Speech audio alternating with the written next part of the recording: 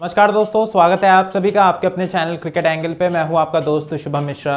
तो न्यूजीलैंड और बांग्लादेश के बीच दो मैचों की टेस्ट सीरीज़ का पहला टेस्ट मैच खेला जाएगा। 1 जनवरी से 5 जनवरी 2022 के बीच माउंट मोंगनुई के बे ओवल मैदान में इंडियन टाइम के हिसाब से सुबह के साढ़े तीन बजे से। तो आज की इस वीडियो में पहले टेस्ट मैच के लिए माउंट मोंगनुई बे ओवल की पिच रिपोर्ट का कंप्लीट एनालिसिस करने वाला हूँ, जहाँ पर मैं आपको बताऊँगा कि इस मैदान के ग्राउंड रिकॉर्ड्स क्या हैं और इस मैदान पर दोनों कप्तान को टॉस जीतकर पहले क्या करना चाहिए। वहीं पर दोस्तों, बे ओवल के मैदान पर कौन से बॉलर्स ज़्यादा इफ़ेक्टिव साबित होते हैं? स्पिनर्स या फास्ट बॉलर्स और किसको आपको अपनी फैंटेसी इलेवन में लेना चाहिए? वहीं पर दोस्तों, इस टेस्ट मैच के लिए वेदर रिपोर्ट क्या है? और इस मुकाबले में दोनों टीमें किस प्लेइंग इलेवन के साथ मैदान में उतरने वाली हैं? और वीडियो के अंत में मैं अपने इस पहले टेस्ट मैच की विन प्रोडिक्शन भी देने वाला हूँ। तो ओवरऑल ये वीडियो बहुत ही ज़्यादा इंटरेस्टिंग और इन्फॉर्मेटिव होने वाली है, इसे लास्ट तक ज़रूर देखिएगा। लेकिन वीडियो में आगे बढ़ने से पहले आप सबसे बस इतनी सी रिक्वेस्ट है कि अगर आप हमारे चैनल पर पहली बार विज़िट कर रहे हैं तो हमारे चैनल को सब्सक्राइब करके नोटिफिकेशन बेल ऑन कर दें ताकि आपको क्रिकेट से रिलेटेड ऐसी इंटरेस्टिंग वीडियोज़ और अपडेट्स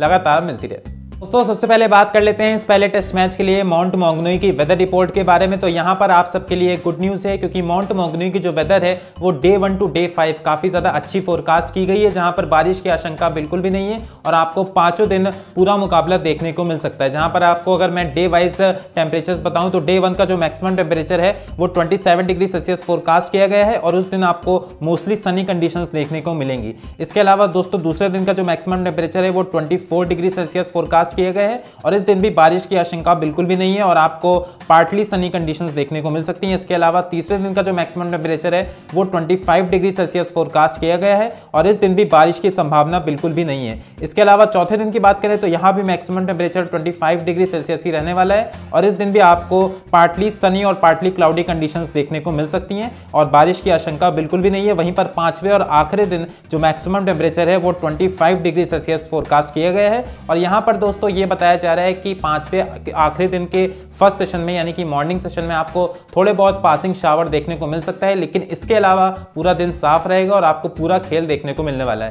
तो ओवरऑल अगर मैं आपको टेम्परेचर या बताऊँ या फिर पूरी वेदर रिपोर्ट बताऊँ तो काफ़ी ज़्यादा अच्छी रहने वाली है इस टेस्ट मैच के दौरान और ये संभावना है कि आपको पाँचों दिन पूरा खेल देखने को मिलने वाला है। अब दोस्तों, हम बात कर लेते हैं इस पहले टेस्ट मैच के लिए माउंट मोंगनुई बे ओवल की पिच रिपोर्ट के बारे में। तो अगर हम सबसे पहले ग्राउंड रिकॉर्ड्स की बात कर ले तो इस मैदान पर अभी तक सिर्फ़ दो ही टेस्ट मैचेस खेले गए हैं, जहाँ पर पहले बल्लेबाजी करने वाली टीम ने एक मुकाबला जीता है, जबकि पहले गेंदबाजी करने वाली टीम ने भी एक मुकाबला ही जीता है। तो ज़ाहिर है कि सैंपल साइज़ बहुत ही ज़्यादा छोटा है और इससे हम ज़्यादा अंदाज़ा नहीं लगा सकते कि इस मैदान पर आपको पहले क्या करना चाहिए। लेकिन दोस्तों, अभी तक जो दो मुकाबले खेले गए हैं, वहाँ पर यही देखा गया है कि पहली पारी दोनों टीमों के लिए बहुत ज़्यादा क्रूशल होती है और जो टीम भी पहली इनिंग्स में बढ़त बना लेती है, अंत में जाकर मैच वो ही जीतती है। तो मुझे लगता है कि दोनों टीमों के लिए यहाँ पर पहली पारी बहुत ज़्यादा इंपॉर्टेंट होने वाली है और टॉस कोई ज़्यादा महत्व इस मुकाबले में नहीं रखेगा। अगर आप पहले बल्लेबाजी करो या अगर आप पहले गेंदबाजी करो, आप पहली इनिंग्स में अगर आप बल्लेबाजी कर रहे हो तो कोशिश होगी कि एक बड़ा स्कोर बनाया जाए 400 या इससे ऊपर रन का। इसके अलावा अगर आप पहले इनिंग्स में गेंदबाजी कर रहे हो तो ये कोशिश करनी होगी कि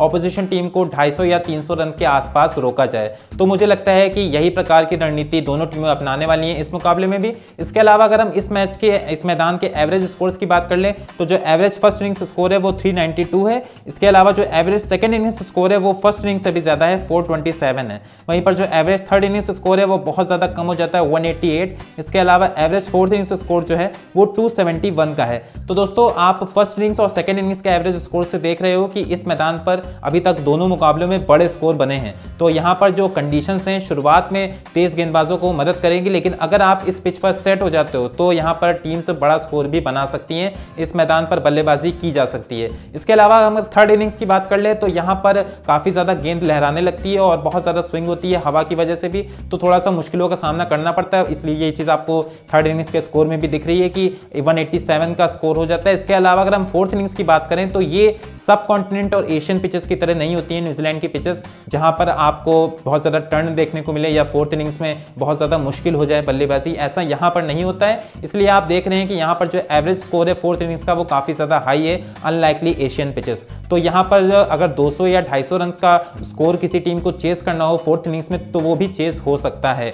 लेकिन यहाँ पर दोस्तों, तेज गेंदबाजी के लिए कंडीशंस पूरे मैच में ही अच्छी रहती हैं, लेकिन ओवरऑल अगर देखा जाए तो काफ़ी ज़्यादा अच्छी पिच रहती है बल्लेबाजी के लिए भी। और यहाँ पर अगर आप इनिशियल फ़ेज़ जो तेज गेंदबाजी का होता है, वो उसको निकाल देते हैं और सेट हो जाते हैं तो फिर इस पिच पर बड़ा स्कोर भी बनाया जा सकता है। तो दोस्तों, अब बात कर लेते हैं कि माउंट मोंगनई बे ओवल की पिच पर कौन से बॉलर्स ज़्यादा इफ़ेक्टिव साबित होते हैं स्पिनर्स या फास्ट बॉलर्स तो अभी तक जो दो टेस्ट मैचेस इस मैदान पर खेले गए हैं, अगर उनके रिकॉर्ड्स की बात की जाए तो टोटल 61 विकेट्स यहाँ पर पेसर्स ने चटकाए हैं। इसके अलावा मात्र 11 विकेट्स ही स्पिनर्स को मिले हैं। तो ये आंकड़े आपके सामने एक बार फिर से पूरी तरीके से स्पष्ट कर देते हैं। कि इस मैदान पर तेज गेंदबाजों का ही दबदबा रहता है और तेज गेंदबाजों के लिए ये पिच काफ़ी ज़्यादा मददगार साबित होती है। Day one to day five यहाँ पर तेज गेंदबाजों के लिए मदद रहती है। स्पेशली अगर आप मॉर्निंग सेशन की बात कर लें तो बहुत ही ज़्यादा मदद मिलती है और बल्लेबाजों के लिए तेज गेंदबाजों को फ़र्स्ट सेशन में खेलना काफ़ी ज़्यादा मुश्किल होता है। और इसलिए अगर मैं आपको सजेशन दूँ तो मेरा सजेशन तो यही रहेगा कि आप दोनों टीमों के जो फास्ट बॉलर्स हैं, उनको आप अपनी प्लेइंग इलेवन में ज़रूर रखिएगा।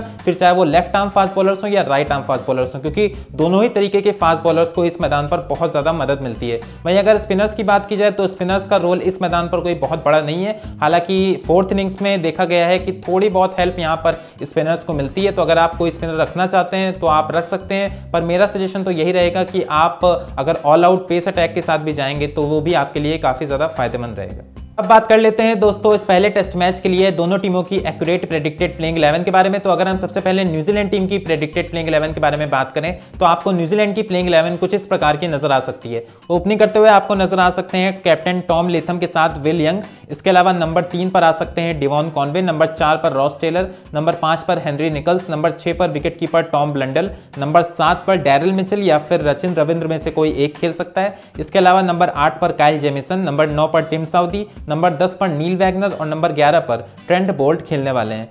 वहीं अगर हम बात कर ले बांग्लादेश टीम की प्रेडिक्टेड प्लेइंग 11 के बारे में तो बांग्लादेश की प्लेइंग 11 आपको इस मुकाबले में कुछ इस प्रकार की नज़र आ सकती है। ओपनिंग करते हुए आपको नज़र आएँगे शादमान इस्लाम, उनके साथ महमूदुल हसन जॉय। नंबर तीन पर आ सकते हैं नजमुल हुसैन शौंतो। नंबर चार पर कैप्टन मोमिनुल हक। नंबर पाँच पर मुशफिकुर रहीम। नंबर छः पर wicket keeper Liton Das number सात पर यासिर अली। नंबर आठ पर मेहदी हसन मिराज। नंबर नौ पर तस्किन अहमद। नंबर दस पर अबू जायद। नंबर ग्यारह पर इबादत हुसैन या फिर शौरफुल इस्लाम में से कोई एक खेल सकता है। तो दोस्तों, आपको कुछ इस प्रकार की प्लेइंग इलेवन दोनों टीमों की तरफ़ से इस पहले टेस्ट मुकाबले में नज़र आ सकती है। इसके बाद last but not the least अब बात कर लेते हैं इस पहले टेस्ट मैच के लिए मेरी अपनी विन प्रोडिक्शन के बारे में कि मुझे क्या लगता है कौन सी टीम ये पहला टेस्ट मैच जीतने वाली है। तो दोस्तों, न्यूजीलैंड और बांग्लादेश के बीच अभी तक टेस्ट क्रिकेट इतिहास में टोटल पंद्रह बार आमना सामना हुआ है, जहाँ पर न्यूजीलैंड की टीम ने बारह टेस्ट मैचेस जीते हैं, जबकि तीन टेस्ट मैचेस ड्रॉ पे समाप्त हुए हैं और बांग्लादेश की टीम एक टेस्ट मैच भी नहीं जीत पाई है। तो कंप्लीटली डोमिनेट किया है न्यूजीलैंड ने बांग्लादेश के ऊपर टेस्ट क्रिकेट में। इसके अलावा जो न्यूजीलैंड में मैचेस हुए हैं, उनकी बात कर लें तो यहाँ पर भी पूरी तरीके से डोमिनेट किया है न्यूजीलैंड ने। नौ मैचेस हुए हैं और सभी नौ मैचेस न्यूजीलैंड नहीं जीते हैं। तो साफ़ तौर पर आप देख रहे हैं कि टेस्ट क्रिकेट में न्यूजीलैंड का पलड़ा बांग्लादेश के ऊपर बहुत ही ज़्यादा भारी है और बड़ी चुनौती होगी बांग्लादेश के सामने, अगर उनको न्यूजीलैंड को न्यूजीलैंड में हराना है तो।